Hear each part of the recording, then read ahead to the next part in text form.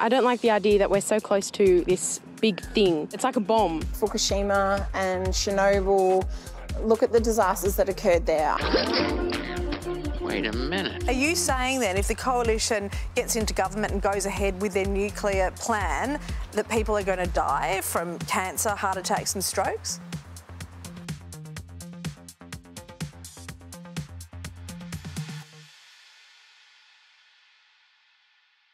Is nuclear energy safe? You've probably heard the claim that nuclear plants produce tons and tons of toxic waste that lasts for a very long time. Anti-nuclear advocates often cite Chernobyl, Fukushima and Three Mile Island as reasons why nuclear plants are too dangerous to build. But the truth is, nuclear is one of the safest energy sources. Even taking into account deaths from accidents, nuclear energy is remarkably safe. This is because the modern nuclear industry is strictly regulated to prevent accidents from happening.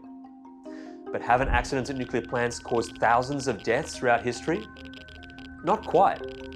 Take Chernobyl, the worst nuclear accident in history. Of the 600 workers present at the disaster, 134 suffered from radiation sickness, with 30 dying from the blast and radiation exposure. Over the next two decades, 19 more workers died, but not all of these deaths can be linked to radiation.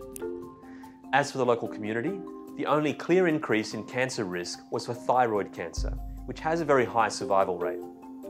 It is difficult to attribute a certain number of cancer deaths to Chernobyl because any increase is lost in the many thousands of cancers resulting from other causes. What about Fukushima? While the tsunami and earthquake themselves caused almost 20,000 deaths, the nuclear accident only caused one death seven years later. The worker who died had been responsible for measuring radiation at the plant following the accident. There were no deaths in the local community because the containment structure functioned as designed, protecting residents from dangerous levels of radiation.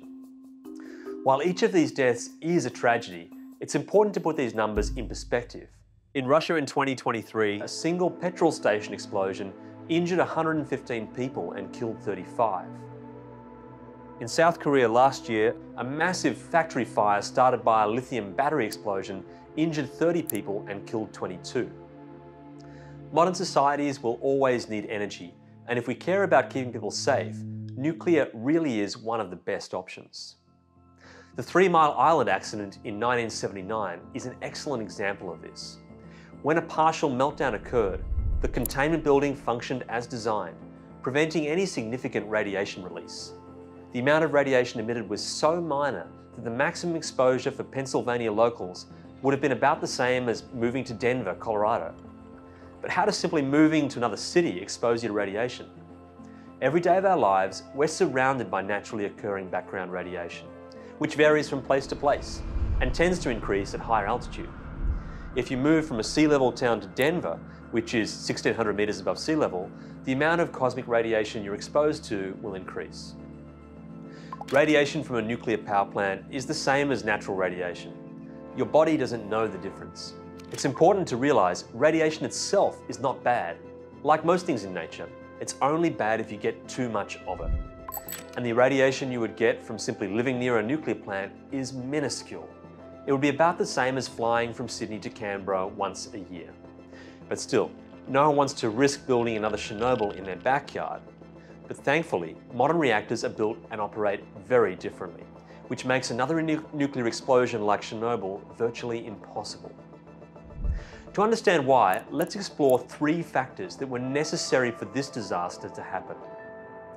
First, the reactor design allowed a positive feedback loop to cause a runaway chain reaction. As the nuclear material got hotter, the reaction sped up, making it even hotter. In modern reactors, the nuclear reaction slows down when it gets too hot, preventing this positive feedback loop from occurring. Second, the Chernobyl operators were Soviets. They ignored safety protocols to conduct a risky experiment outside the safe window when it could be conducted, because their superiors ordered them to. Modern reactors are run by operators trained to respond correctly to all possible scenarios. Strict protocols and regulations mean that modern reactors are much safer. The lessons from Chernobyl have not been wasted. Finally, the Chernobyl explosion only spread radioactive material because the reactor didn't have a strong containment structure.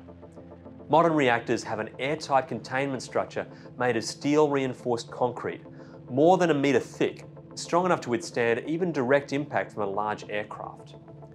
This means, in the profoundly unlikely event of a serious malfunction, radioactive material would be safely contained within the nuclear plant, keeping the environment and local communities safe. But what about the radioactive waste? Isn't it dangerous? Actually, waste from nuclear plants is a lot easier to deal with than waste from other energy sources. This is because nuclear fuel is extremely dense, which means it produces a tiny amount of waste compared to coal, gas, wind, or solar. In fact, the amount of nuclear waste produced from a lifetime's worth of electricity would be small enough to fit in a Coke can. The words nuclear waste probably bring to mind leaky barrels of toxic green goo. But nuclear waste actually looks like this. The nuclear waste emitting the most radiation is spent fuel, which is made up of solid rods.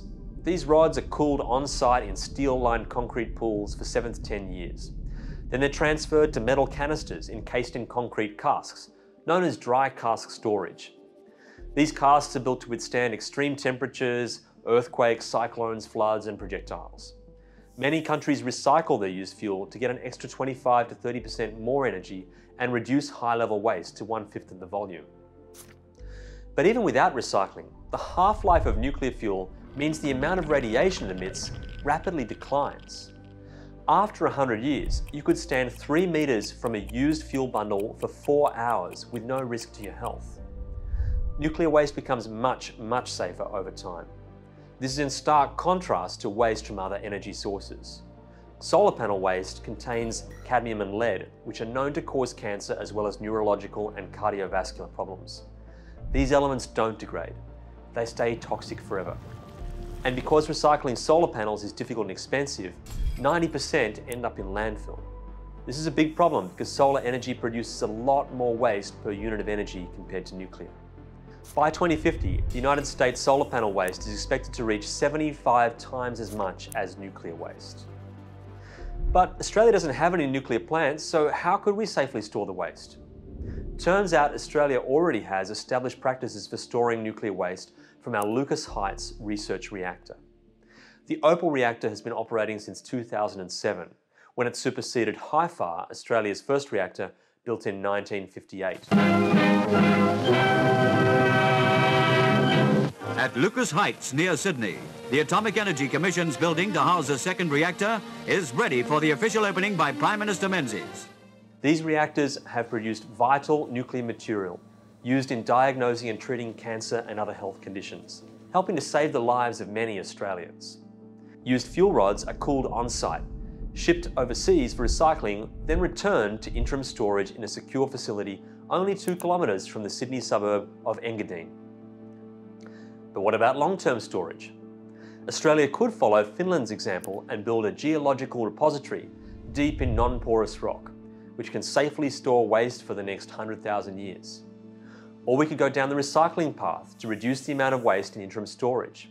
And regardless of whether Australia includes nuclear energy in its energy mix or not, we will have to manage the waste from the AUKUS nuclear-powered submarine program. There are plenty of viable options in Australia, just like there are in the 32 other countries that benefit from nuclear energy. If you'd like to find out more about Australia's energy landscape, head to energy.cis.org.au to read the frequently asked questions and other research from the energy team that I lead there. I'm Aidan Morrison for John Anderson Media.